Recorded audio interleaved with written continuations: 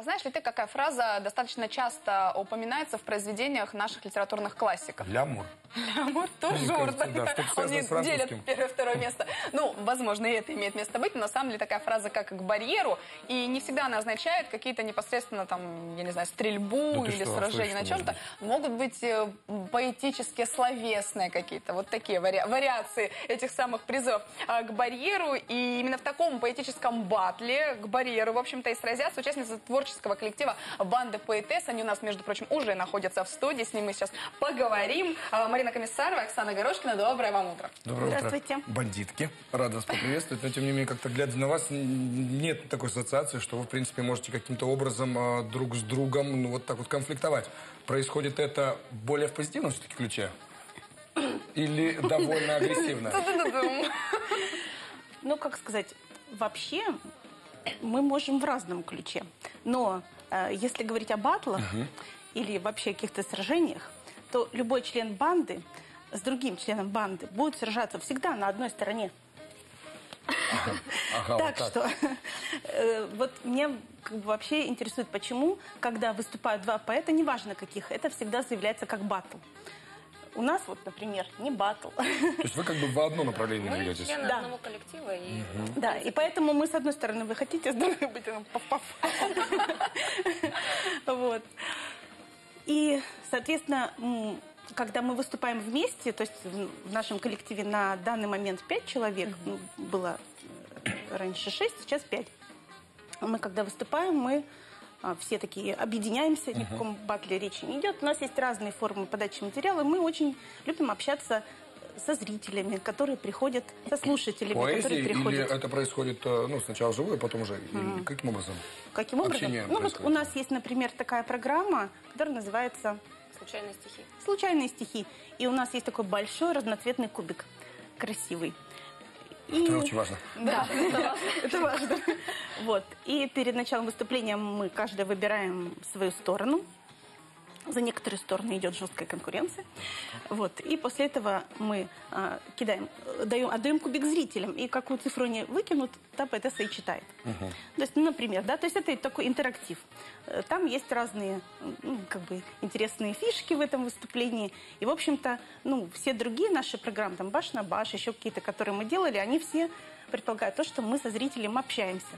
Ну, потому что, мне кажется, по-другому как-то скучно. А может быть попробуем на практике Да, вот дело? э, 12 мая, все правильно, в Краевой библиотеке пройдет ваша, скажем так, уже творческий, э, творческая встреча. А, м, Как все-таки это пройдет? Продемонстрируйте нам прям такой небольшой кусочек. Возможно это? Да, конечно. Да, конечно. Конечно, возможно. Ну вот, Э, Немного расскажем о нашей встрече. Окей. Да? да. Э, 12 мая в 2 часа в молодежной библиотеке по адресу Щерса 46 состоится наша с Мариной Комиссаровой встреча, э, в которой, которая называется «Спроси меня как». Да. Вот. Эта встреча предполагает, как и все другие наши встречи, она предполагает ну, общение с залом, да, и смысл встречи состоит в том, что в рамках этого мероприятия мы с Мариной сможем задать друг другу вопросы, во-первых, которые другу. нас давно уже интересуют. То есть есть такие вопросы, когда, которые вы пока еще не получили друг от друга ответа или, может быть, не задавали их? Ну, может лю- быть, не люди, задавали. люди, они как вселенные, и Да. невозможно узнать человека на сто процентов. Иногда Вот. хочется И спросить, то же самое смогут сделать зрители. Как правило, литературные встречи – это мероприятие, где собирается очень много людей, которые друг друга хорошо знают и ну, друг другу интересны. Вот. И э, я думаю, что этот формат будет интересен нашим читателям. Конечно. Вот Оксана, я вижу, приготовила мне вопрос. Я очень давно хотела у тебя спросить одну вещь. Вот, но я хочу сказать, что я... Вот этот вопрос, Оксана, это не тебе. Да.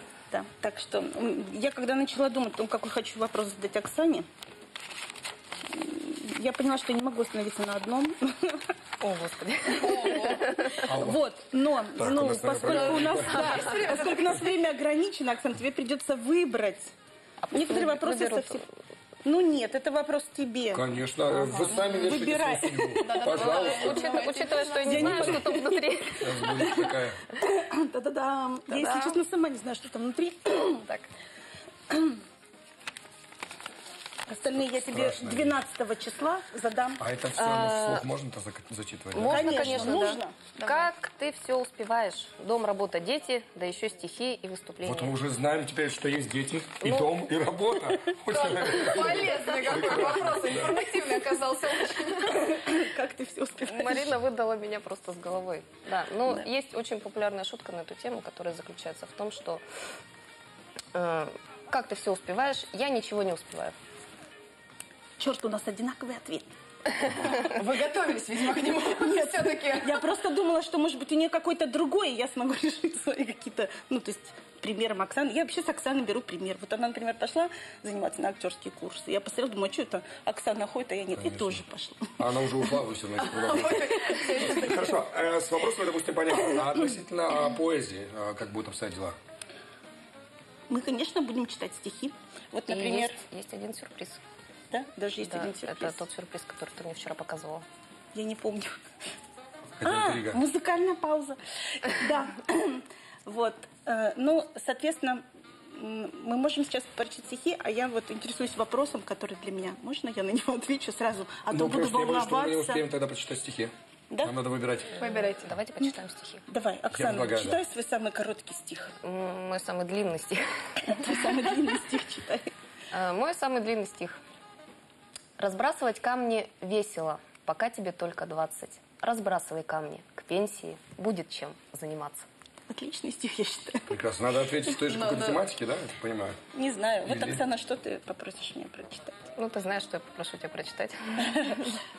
У, Оксаны есть стихотворение, которое она любит. стихотворение. Маринина. Да, я прочитаю. А я не знаю, сколько звезд на небе. И почему коровы не летают? Количество калорий в белом хлебе и что такое конгруентность, я не знаю. Куда девалась прошлая зарплата? И сколько мне еще ходить по краю? Я приближаюсь, в общем-то, к Сократу. Я знаю то, что ничего не знаю. А это стихи вашего собственного сочинения, правильно я понимаю? Да, да.